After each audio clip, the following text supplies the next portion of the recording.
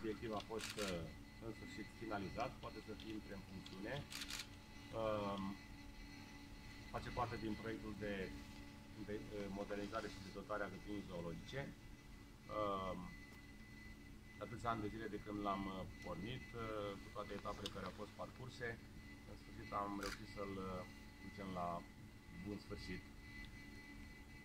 Urmează acum să vedem cum îl includem într-o etapă de funcționare, de exploatare, sub ce formă, în ce fel, în așa fel încât să, să ne atingem obiectivul ca acest lucru să fie utilizat de cât mai mulți dintre brașoveni sau cei care vizitează grădina zoologică pe baza unui program, dar să ne referim aici în mod foarte concret și la elevi și la școlile din Brașov, care trebuie să pună în programa lor școlară o dată pe săptămână, pe lună sau anumit interval, clasele cu elevii de diferite uh, clase la învățământ gimnazial sau ce știu eu și cel liceal, să parcurg aici o oră sau mai multe ore în cadrul uh, programului școlar, în cursul zilei, la final de weekend să fie pentru vizitatori, să fie pentru cei care sunt vizitatori.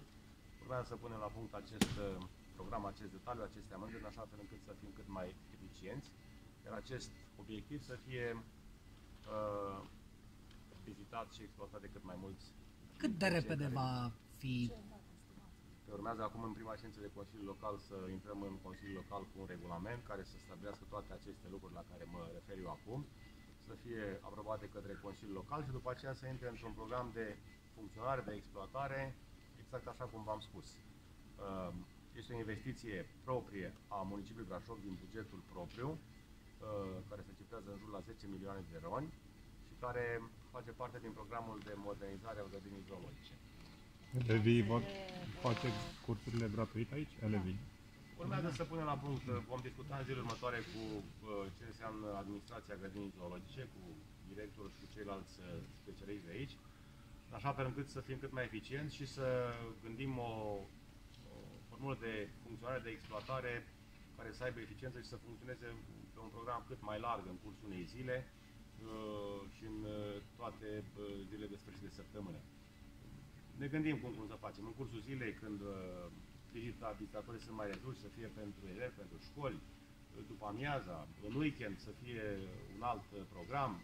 O să ne referim aici la ce înseamnă tarife, taxe, să vedem. Putem să-l includem într-o structură de subvenționare, să spun așa, din partea bugetului local, din partea municipiului pentru școli sau, um, ce știu eu, pentru adulți să fie altfel, să fie diferit. Ați văzut că sunt o grămadă de informații, de detalii care pot să fie uh, aici expuse, să poată să fie vizualizate, să fie aflate, foarte multe lucruri pentru uh, toată lumea și noi astăzi când am văzut aici o grămadă de lucruri am rămas uh, foarte surprins și vă dați seama că sunt multe, multe alte lucruri care pot să fie aici aflate în acest loc.